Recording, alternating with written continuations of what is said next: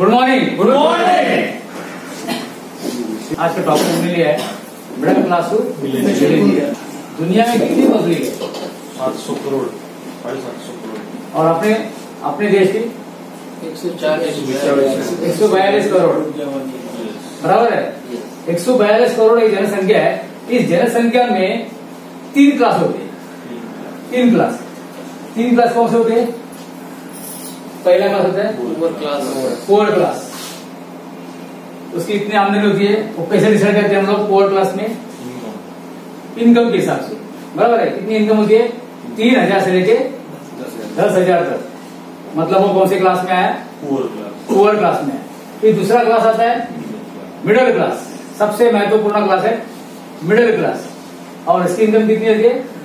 दस हज़ार से लेके ढाई लाख तक। इनको हम काम क्या बोलते हैं? मिडिल क्लास बोलते हैं। और तीसरा जो क्लास होता है वो रिच क्लास बराबर है? और इसकी इनकम होती है ढाई लाख से आगे। सबका यही ख्वाब होता है कि यहाँ से निकलकर यहाँ पर जाए। कोई ऊपर नहीं जाना चाहता। है। तो ये रिच क्लास में जाना चाहता है। समझ के सब है कि मैं मिडिल क्लास में हूँ। लेकिन क्या वो वाकई में मिडिल क्लास में है क्या? और भी देखिए मिडिल क्लास बोलते हैं मैं मिडिल क्लास में हूँ। लेकिन मिडिल क्लास में भी क्या होते हैं? तीन क्लास होते हैं। लोअर मिडिल क्लास अभी लोअर मिडिल क्लास की इनकम क्या है? दस हज़ार से लेके बीस हज़ार तक। बाद में मिडिल क्लास अब आ गए मिडिल क्लास इसकी इसकी इनकम होती है बीस हज़ार से लेके साठ हज़ार तक। और सबसे महत्वपूर्ण जो क्लास है अपर मिडिल क्लास फिर यहाँ पे लोगों के लोगों की डेफिनेशन बदल जाती है फिर लोग कुछ लोग हम अपर मिडिल क्लास में आते पहले क्या बोलते थे? अपर मिडिल क्लास में। बाद में समझ में आया फिर क्या बोलते अपर मिडिल क्लास में। और अपर मिडिल क्लास में इनकम कितनी होती है? साठ हज़ार। से लेके ढाई लाख तक। लेकिन ये भी जो क्लास हम डिसाइड कर रहे हैं वो कैसे डिसाइड करेंगे कि मैं मिडिल क्लास में हूँ या फिर अपर मिडिल क्लास में हूँ? कुछ लोग बोलते हैं मैं कमाता हूँ साठ हज़ार। बराबर है साठ हज़ार में कमाता हूँ। तो मैं मिडिल क्लास में अपर मिडिल क्लास में? लेकिन वो कैसे डिसाइड है, वो भी डिसाइड है मिडिल क्लास कितना परसेंट कितना परसेंट होते सत्तर परसेंट लेके हंड्रेड परसेंट लेके मिडिल क्लास ही बोलते हैं। बराबर है? उनका कहने का तात्पर्य यही है कि मैं मिडिल क्लास में हूँ। लेकिन इसका फ्यूचर क्या है? What is future of Indian middle class हम इंडियन मिडिल क्लास की बात करेंगे। हम इंडिया में तो इंडियन मिडिल क्लास की बात करेंगे। तो इसका फ्यूचर कैसे है? ये हम आगे आगे इतना भयानक फ्यूचर है। क्या आने वाले समय में मिडिल क्लास अमीर होगा क्या? क्योंकि सब सब कहा जाना चाहते हैं? कौन सी क्लास में जाना चाहते class rich class rich class में जाना चाहते मतलब क्या? अमीर बनना चाहते तो वाकई में मिडिल क्लास है वो क्या अमीर बन पाएगा क्या? एक सवाल है ना? या फिर क्या हो जाएगा?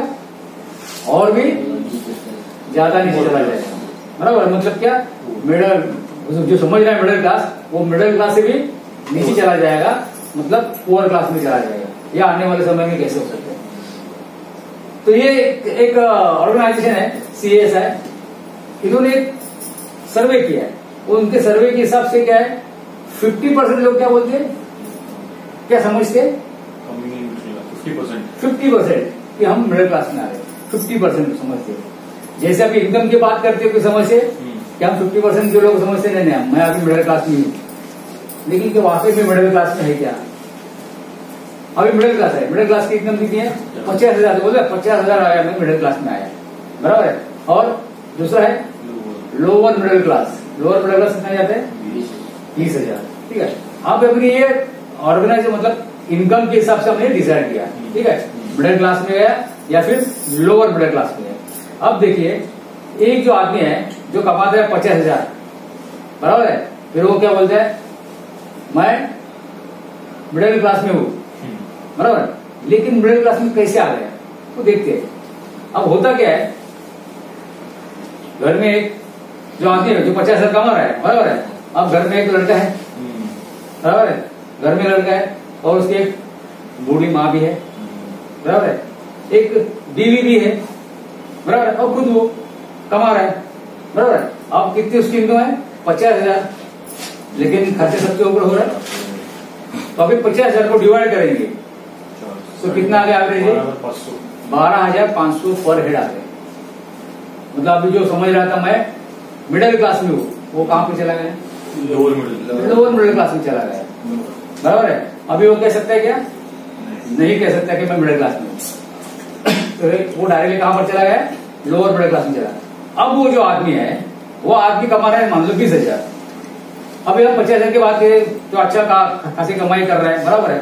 शिक्षित है समझ रहा है घर में अकेला कमा रहा है। अब एक जो गरीब व्यक्ति है, गरीब व्यक्ति, हम उसको गरीब व्यक्ति समझते हैं।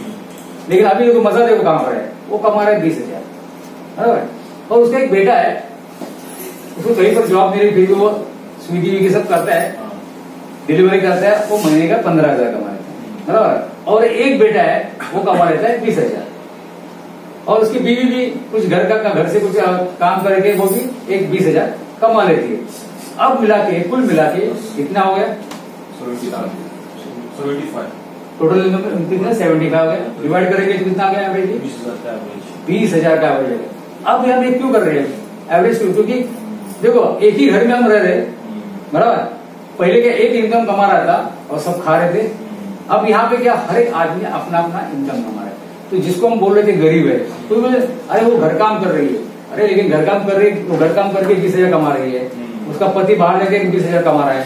हाँ उसका बेटा भी कमा रहा है। सब कुल मिला के अगर घर में महीने का लाख भर रुपया आ रहा है और ये डिवाइड करेंगे चार चार लोगों के पास डिवाइड करेंगे तो कितना आ जाएगा एवरेजली बीस हज़ार के ऊपर ही आएगा। तो बीस हज़ार के ऊपर आ रहा है तो मतलब वो आदमी कहाँ पर चला गया? मिडिल क्लास में चला गया।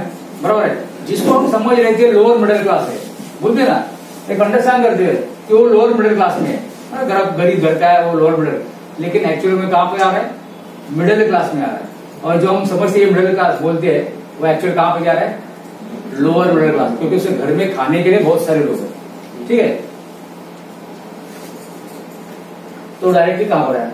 अब मज़ा के देखो, इससे हमें क्या सीख मिलती है? बड़ी सीख हमें क्या मिलती है? कि जो कुछ हम कमाते हैं, उसको अगर हम डिवाइड करेंगे, और उससे अगर एवरेज इनकम हमारे पचास हज़ार आ गई तो हम समझेंगे हम अपर मिडिल क्लास की तरफ़ जा रहे हैं, या फिर हम मिडिल क्लास की तरफ़ है। ऐसा हम समझेंगे। तो ये अपनी कितनी जनसंख्या है?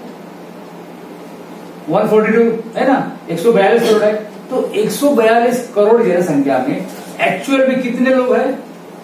जो मिडिल क्लास की तरह हम बोलते हैं सिर्फ़ दो टका। टू परसेंट लोग हैं जो सिर्फ़ एक्चुअल में मिडिल क्लास में थे। मतलब बाकी जो समझ रहे हैं वो क्या है? लोअर मिडिल क्लास में। देखो ये अपने ये कौन है? अपने देश की?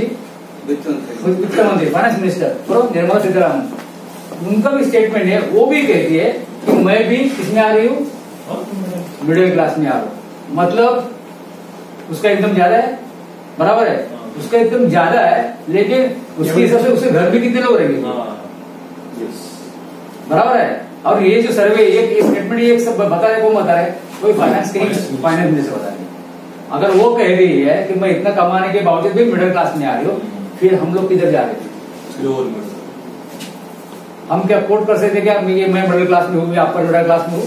नहीं, अब तक हमें पता नहीं था ना कि मैं मिडिल क्लास में आ रहा हूँ या अपर मिडिल क्लास में आ रहा हूँ।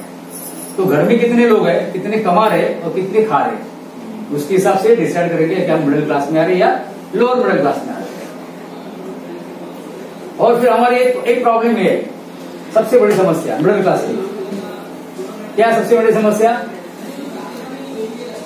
इस भ्रम में है कि हम लोअर मिडिल क्लास से बेहतर है। वो यही समझ है। ये सबसे बड़ी प्रॉब्लम है। ये प्रॉब्लम कैसे आ गई जो वो आगे हम देखेंगे। इसलिए वो अपने मन में क्या करते हैं? स्टैंडर्ड बना लेते हैं। मैं लोअर मिडिल क्लास से अच्छा हो। तो मैं क्या मिडिल क्लास में हूँ ना? तो एक स्टैंडर्ड बना लेता है। और स्टैंडर्ड बनाने के बाद क्या करता है वो? मेंटेन करना चालू करता है। अब वो मेंटेन कैसे करता है? देखो क्या उसके हिसाब से। अभी इनकम आ गया। इनकम में पचास हज़ार साठ हज़ार अगर कमा रहे बोले मैं गए मिडिल क्लास में आ गया तो अभी क्या करने लगता है वो? अच्छा। खर्चा मेंटेन करने लगता है। तो उसके हिसाब से अपने लाइफ को क्या करता है? डिज़ाइन करने लगता है। बराबर? ये इस लाइफ में मुझे क्या चाहिए क्या नहीं चाहिए ये सब देखना चालू कर देता है। और मेंटेन क्या करते हैं? अच्छा। खर्चे मेंटेन करने लगता है। अब उसके हिसाब से क्योंकि दिखना चाहिए ना। लोग उसके पीछे जाते हैं कि मैं अभी दिखना चाहिए। मैं मिडिल क्लास में हूँ। शो शो करना चाहिए। नहीं तो लोग समझ रहे हैं तो लोअर मिडिल क्लास में चला गया इसलिए वो शो करना चाहिए। अब ये लोग अभी जो क्लास है ये जो जो बोलते मिडिल क्लास बराबर? ये शो करने के लिए स्टैंडर्ड मेंटेन करने के लिए क्या करते हैं? सब ब्रांडेड ब्रांडेड चीज़ें खरीदना चालू करते हैं उनको सब ब्रांडेड चीज़ें ये दिखता है ना वो। हम्म। अरे क्या उसने कौन सा बेल्ट पहना है? देखो। उसके हाथ में कौन सी घड़ी है? देखो। उसके हाथ में कौन सा मोबाइल है? इससे क्या है? ब्रांड तो मतलब क्या? लोग ये अंडरस्टैंड करते चलते हैं कि ब्रांडेड चीज़ें इस्तेमाल करने से मेरा स्टैंडर्ड मेंटेन हो जाएगा। और मैं देखूँगा कि मैं मिडिल क्लास में हूँ मैं लोअर मिडिल क्लास में नहीं हूँ मिडिल क्लास में हूँ।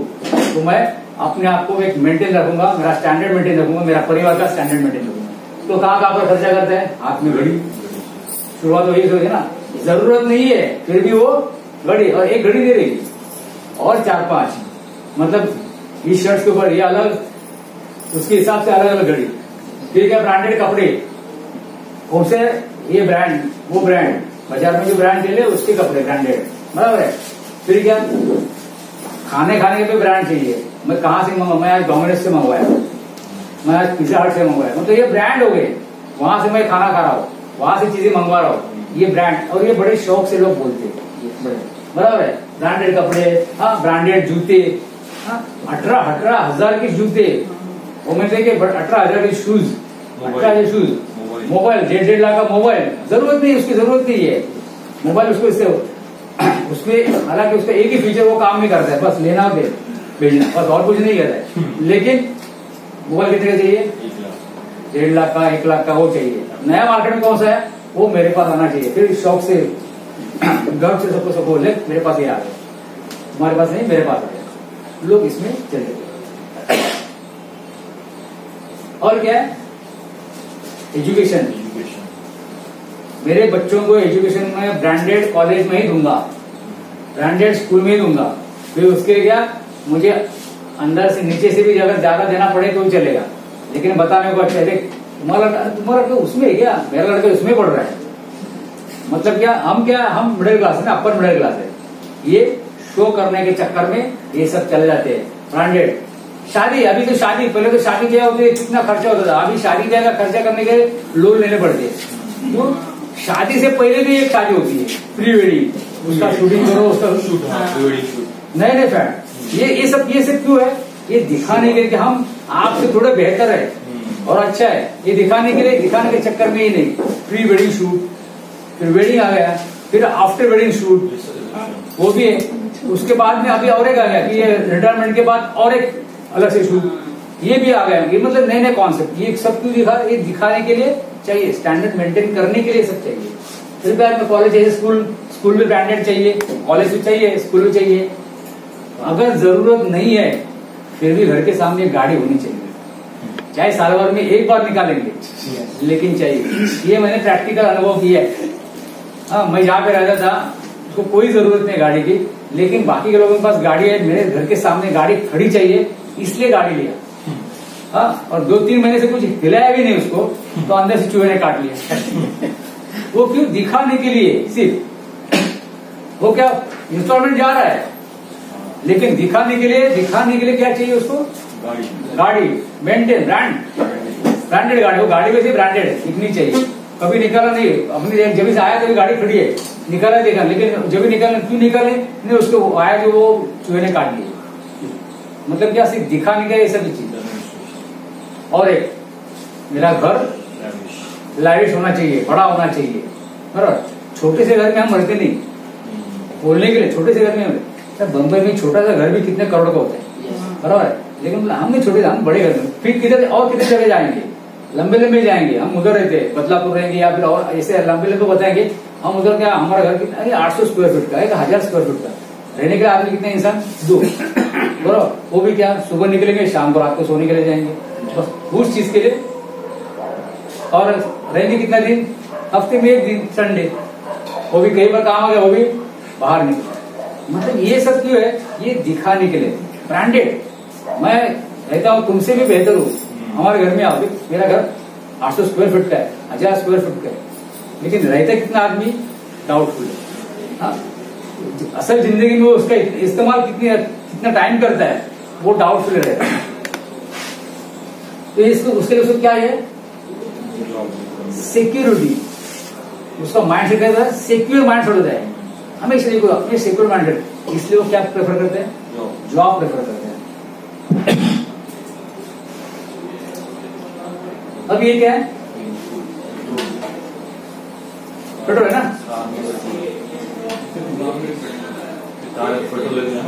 दो हज़ार दो में कितना था? अब ये कितना हो गया? बाईस का है चौबीस साल दो हज़ार बाईस का है। मैं बीस साल का डिफरेंस बता रहा बीस साल में इन्फ्लेशन होता है? तो बीस साल में कितना हो गया? एक सौ दो। एक सौ दो, बराबर है। अब ये पेनफुल चीज़ है ना? दर्दनाक है ना? अभी इसका इस, ये जो यहाँ से यहाँ तक आया मतलब जो उसका प्रभाव रहेगा वो किसके ऊपर रहेगा? अपने ऊपर रहेगा ना?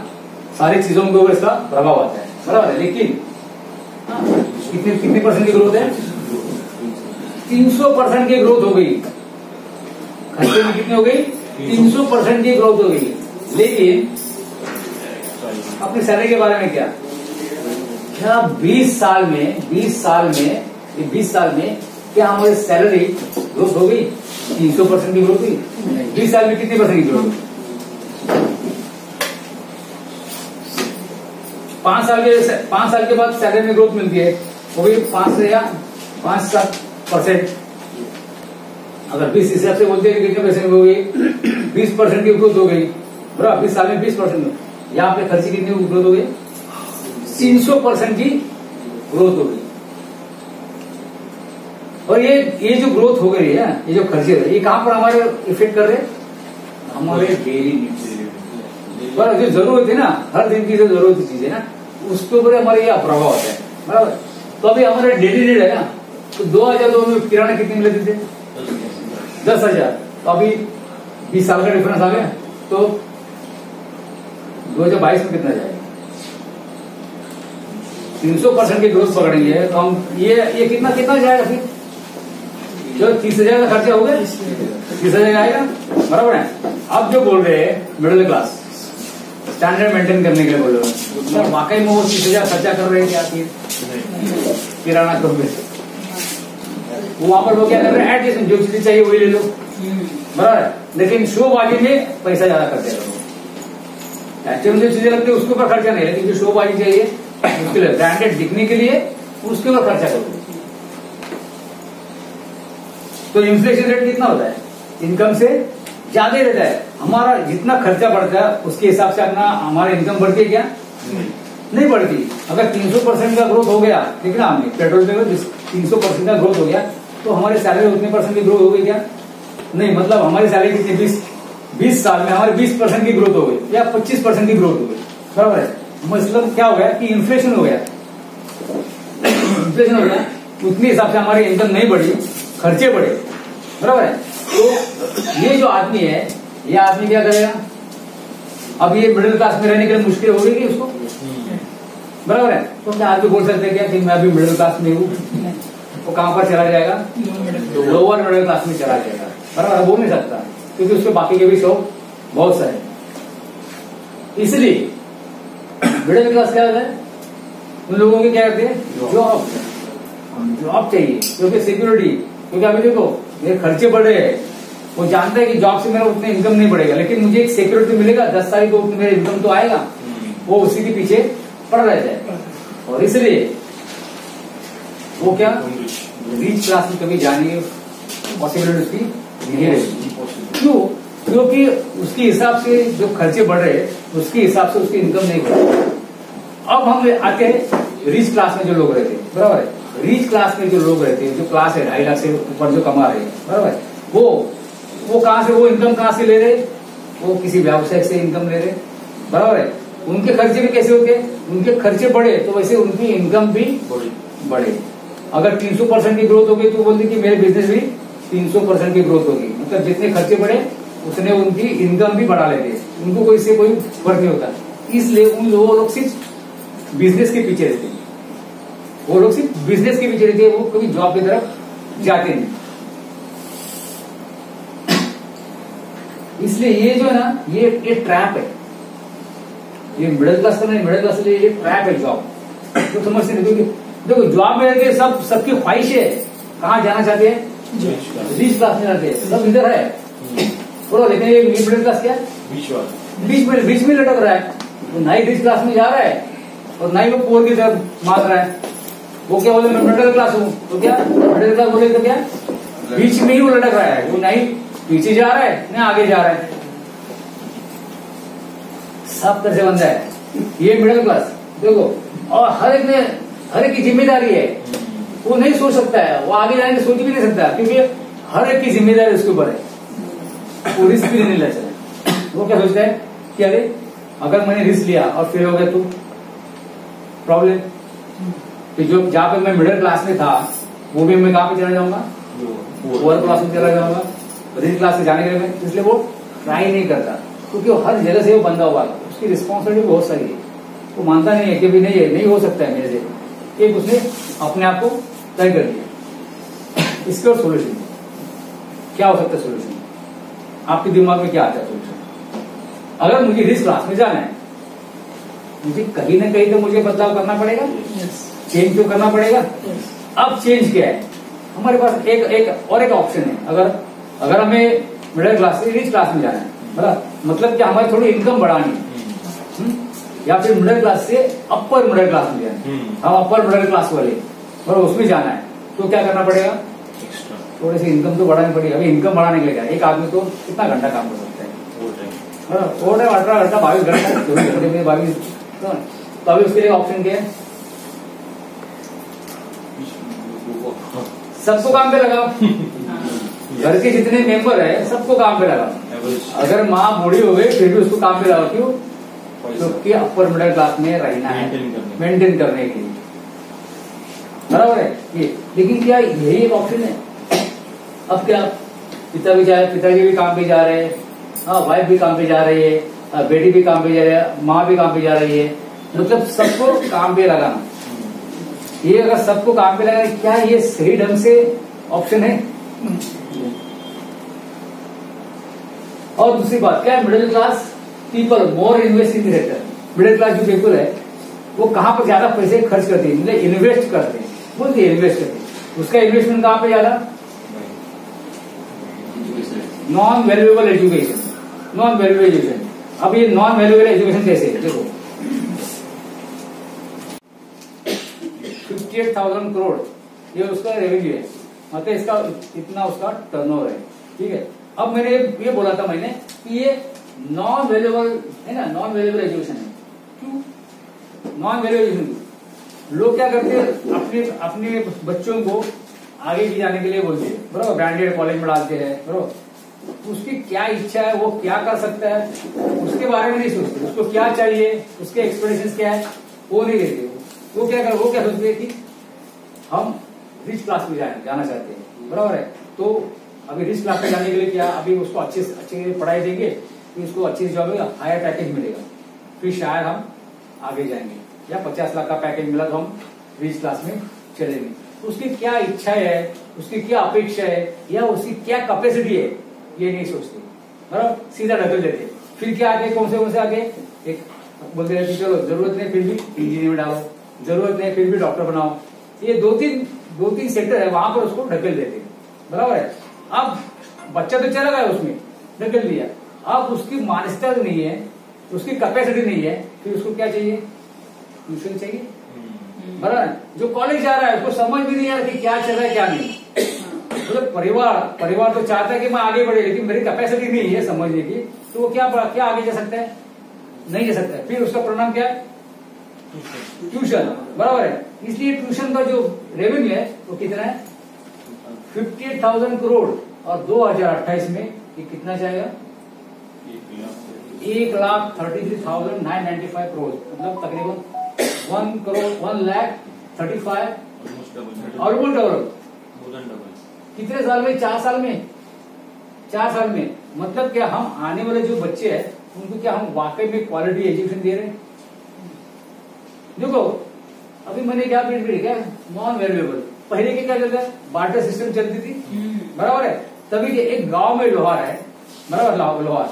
लोहार के काम कर रहा है। बराबर सबके लिए। उसका जब भी बेटा पैदा होता है वो बेटा क्या करता है? उसके साथ भी रहता है ना? उसके साथ भी रहता है। उसको बेसिक एजुकेशन रहती है।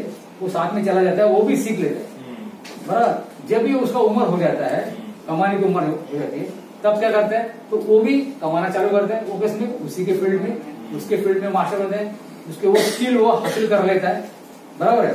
स्किल हासिल करने के बाद उसको कहीं पर जॉब जाने की ज़रूरत होती है नहीं। उसके हाथ में स्किल है। बराबर है? वो क्या करते हैं? वो अपना बिज़नेस शुरू कर देते हैं। स्किल है उसके पास। बराबर है? आज के हम, आज के हम बच्चों को क्या स्किल सिखा रहे क्या स्किल है? कुछ भी नहीं नॉन उस, उसको कैपेसिटी ही नहीं है समझने की कैपेसिटी नहीं है इसलिए उसको ट्यूशन लगा रहे ज़बरदस्ती के। बराबर है? उसमें चला जाए कुछ सीखा तो ठीक है फिर क्या है? एवरेज में आ जाता है। हम्म, और एवरेज आ गया या फिर एवरेज के नीचे आ गया फिर उसका करियर क्या बनता है? कुछ नहीं। कुछ नहीं करियर बनता है। फिर हम फिर माँ बाप क्या बोलते हैं? कि हमने इतना पैसा लगा दिया। बराबर है? और लेकिन क्या है? जॉब ही नहीं मिल रही। उसको कहीं पर अच्छा पैकेज नहीं मिल रहा है। जहाँ पर मिल रहा है, फिर वहाँ पर वो एडजस्ट करके चला रहा है। या फिर क्या करना, अपनी जगह को छोड़ के उसको और कहीं पर जाना जाना पड़ रहा है, अपने परिवार को छोड़ के। बराबर है? मतलब कि जो एजुकेशन दी उसको क्या, उसको वैल्यू नहीं। वैल्यूबल एजुकेशन इसका रिज़ल्ट क्या है? फिफ्टी परसेंट ग्रेजुएट क्या होते ग्रेजुएट क्या होते अनएम्प्लॉयड होती उनको एम्प्लॉयमेंट नहीं मिलती। उसका नतीजा नहीं होता क्योंकि एवरेज में जाती है ना, क्योंकि कैपेसिटी नहीं है। जो सोचता है, जो चाहता है, वो नहीं कर पाता। बराबर है?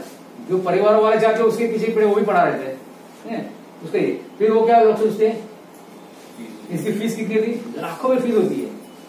हज़ारों में नहीं होती, लाखों में फ़ीस होती है। ओके, और इनके शौक भी वैसे ना। कॉलेज भी कैसे चाहिए? ब्रांडेड तो ब्रांडेड कॉलेज चाहिए तो फ़ीस भी वैसी है। बराबर है? फ़ीस क्या है? और किसके लिए?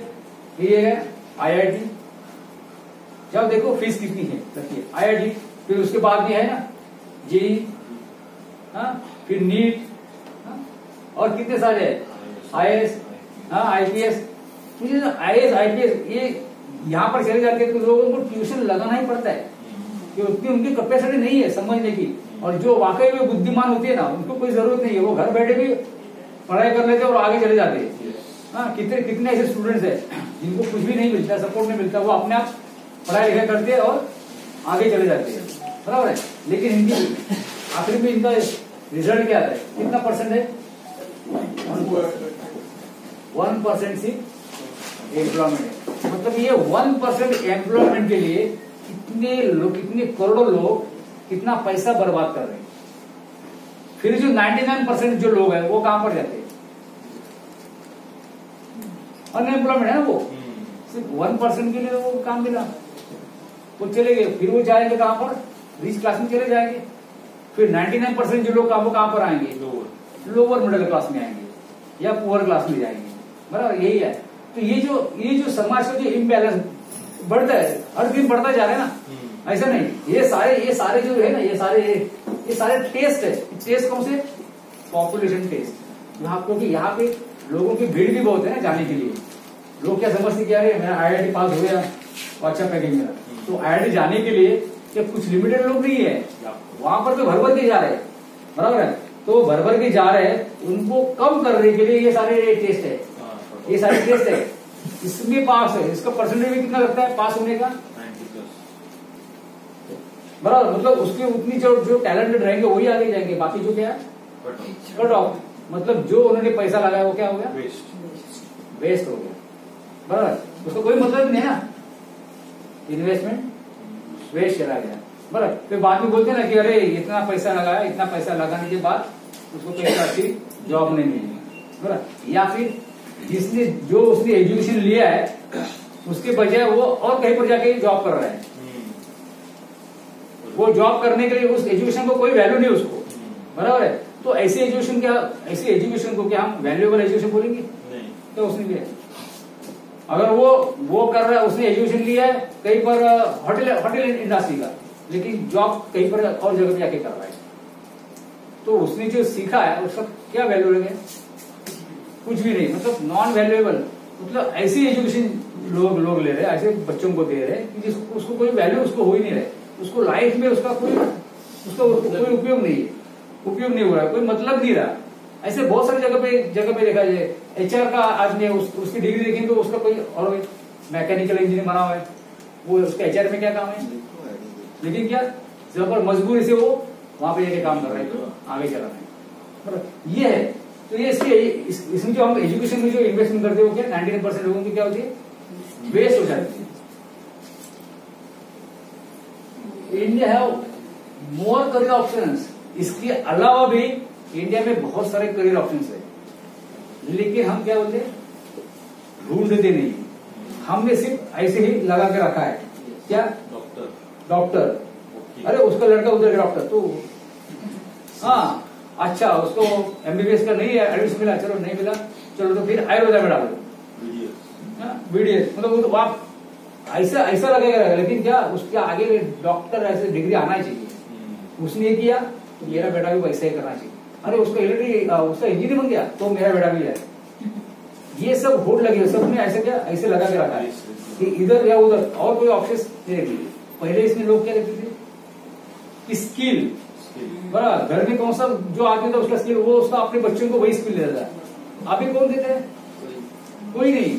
लोग अभी तो मैं देखा है घर में एक बिज़नेस है फिर भी बोलते बच्चों को बोलते तुम जाके वहाँ पे काम जॉब पे जाओ।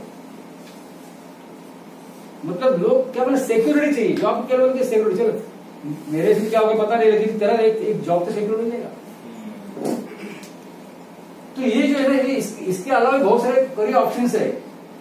Doctors engineers I S I इसके अलावा भी बहुत सारे करियर ऑप्शन है। देखना पड़ेगा समझना पड़ेगा। इसके अलावा जॉब के अलावा और कुछ करना पड़ेगा। अब ये करना पड़ेगा ये भी कैसे हम बोल सकते कि क्या कोई कोई पहले बोलता था मुझे कोई ज़रूरत नहीं है। जॉब चल रहा है ठीक है। जॉब लेना और कोई चार साल पहले हमने देखा ना। कोरोना। ने हमें सिखा दिया ना। तभी क्या लगा था? हर एक तभी आ गया। सेकंड इनकम सेकंड इनकम चाहिए चाहिए।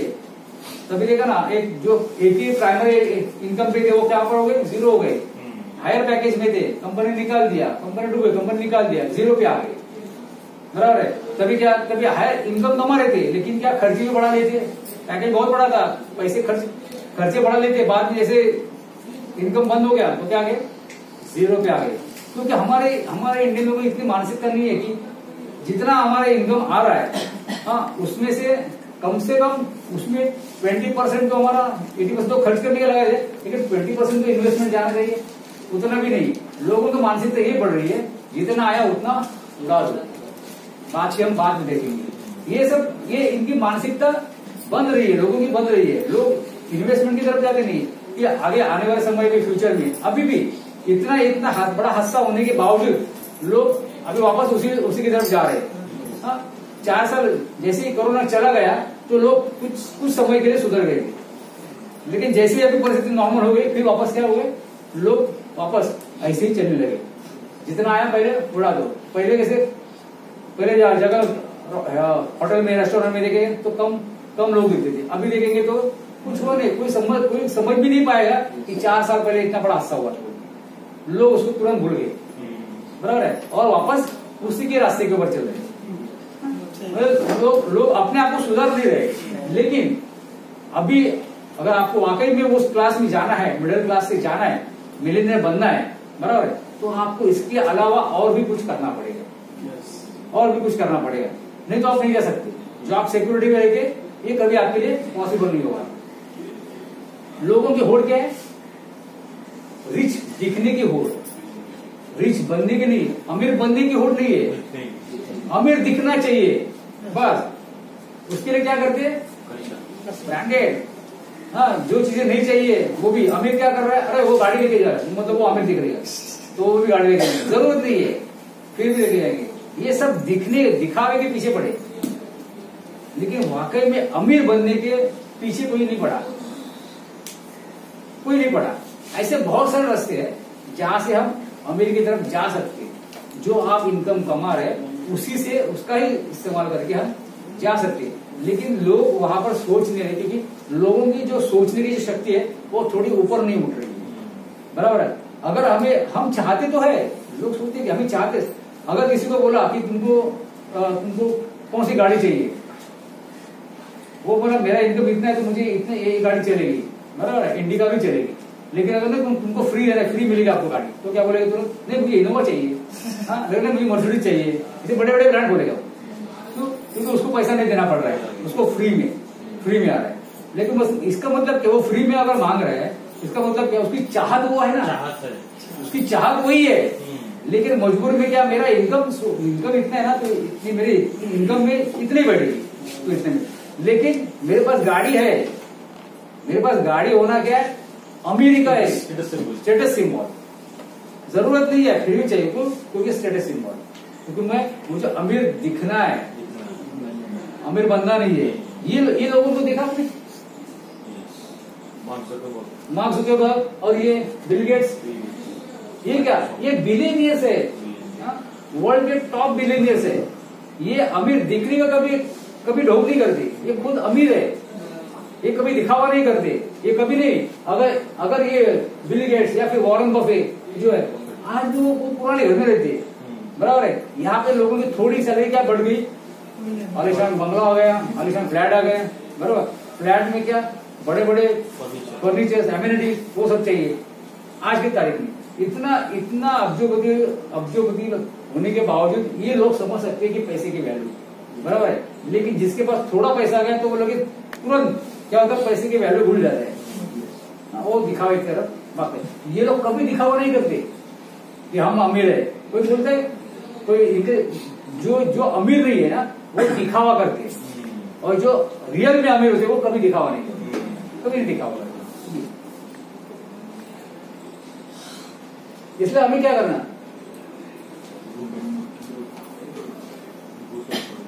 क्या करना चाहिए? अभी मुझे बताइए ये ग्रुप बिफट गया। अभी मुझे ये सब घर ये परिवार के सदस्य है। बराबर? सबकी मंशा क्या सबकी सबकी इच्छा क्या है?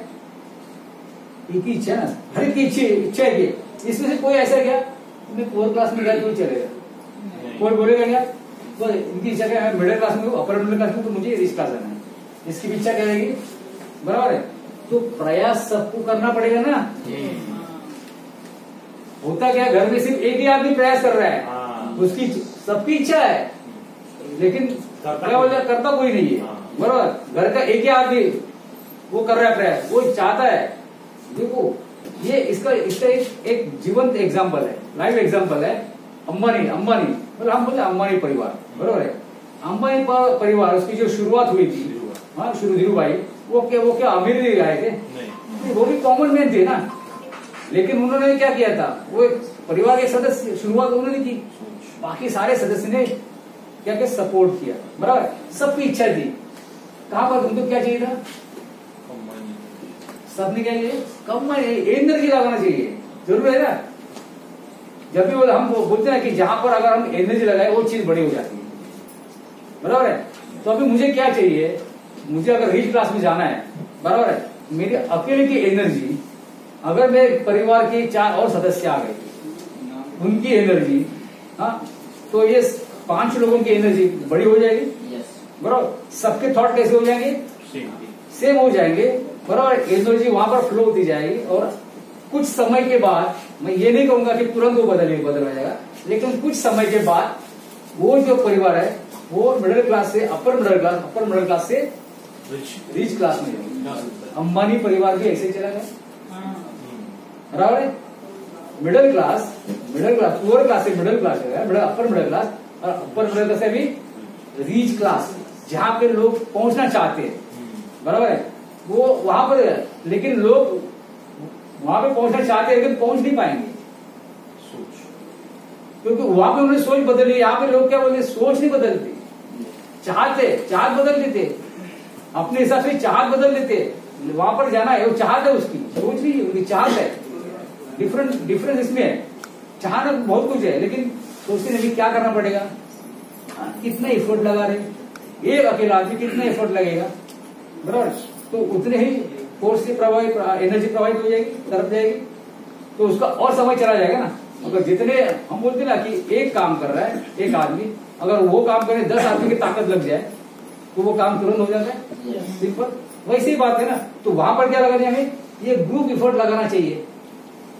लेकिन ग्रुप इफर्ट कोई नहीं लगाता। सब चाहते हैं कि अमीर बन जाए। परिवार के हर सदस्य चाहते ना हर सदस्य को पूछा जाएगा क्या कौन से गाड़ी से ट्रैवलिंग करेगा? मर्सिडीज मिलेगी तो चलेगा। है ना? सबकी इच्छा है चाहते है। लेकिन एफर्ट प्रयास लगाने के लिए कोई तैयार नहीं। एक अकेला आदमी लगाता अंबानी परिवार। बराबर है? सब एफर्ट लगा रहे देखो एग्ज़ाम्पल है। अभी इसका भी खुद का भी बिज़नेस अलग है ना?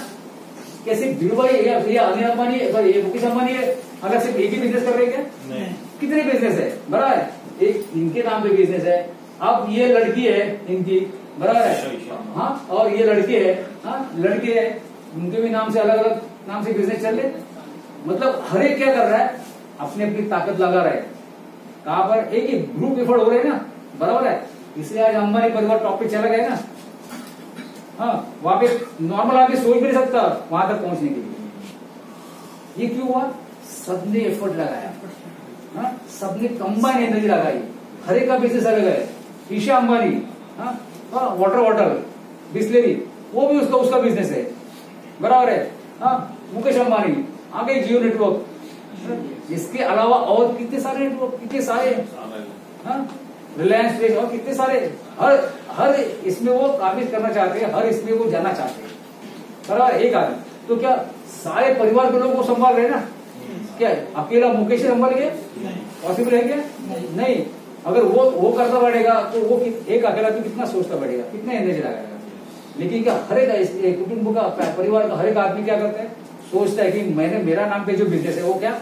आगे बढ़े आगे बढ़े। कोई इसमें सोचेगा नहीं कि बर्बाद होगा तो भी चलेगा। ऐसा कोई नहीं नहीं। ये सब सारे इतने एनर्जी लगा देते हैं इसलिए खर्चा भी वही करते हैं। चार हज़ार पाँच हज़ार करोड़ शादी के ऊपर खर्चा करते हैं। और अभी लोग लोग की वजह उसने पाँच हज़ार खर्चा पाँच हज़ार करोड़ खर्चा किया। तो मैं कम से कम एक करोड़ तो खर्चा करूँ?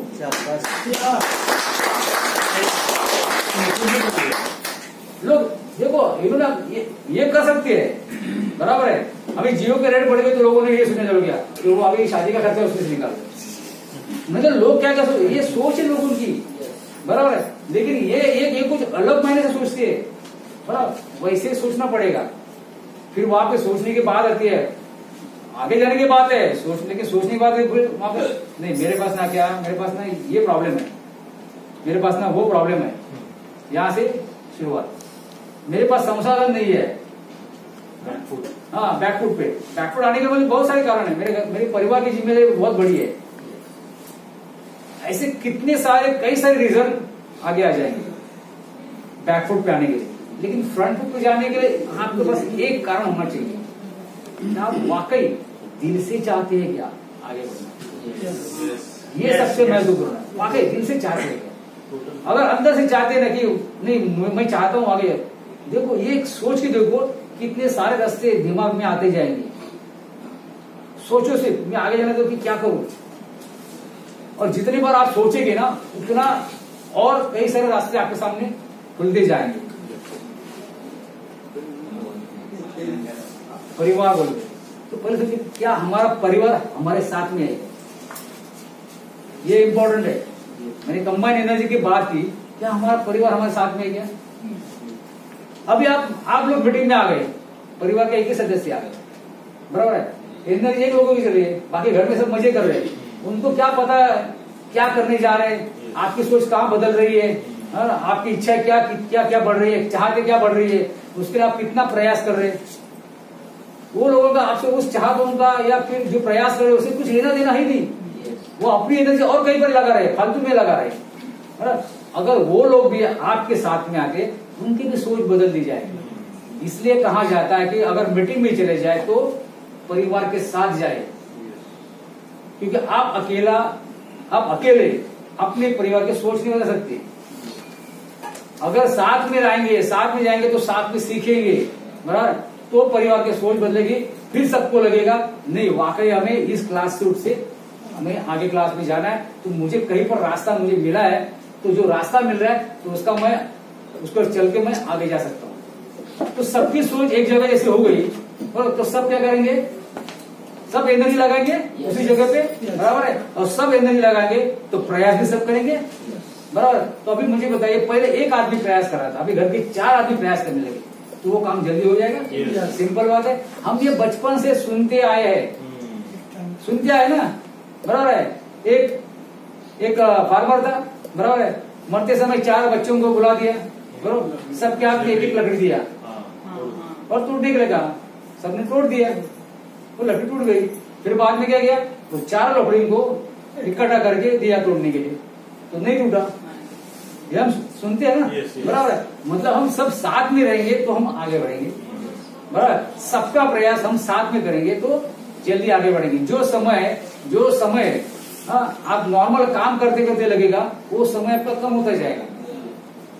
आप सफल भी हो सकते हैं अकेले भी मैं ये नहीं कहूँगा कि आप अकेले सफल नहीं हो जाएँगे। आप सफल भी हो सकते हैं हंड्रेड परसेंट हो सकते हैं लेकिन जो समय है जो फासला है हाँ, वो ज़्यादा लगेगा। अगर वही वो पूरा परिवार को साथ लेके चलेंगे तो ये फासला बहुत कम होगा समय बहुत कम होगा।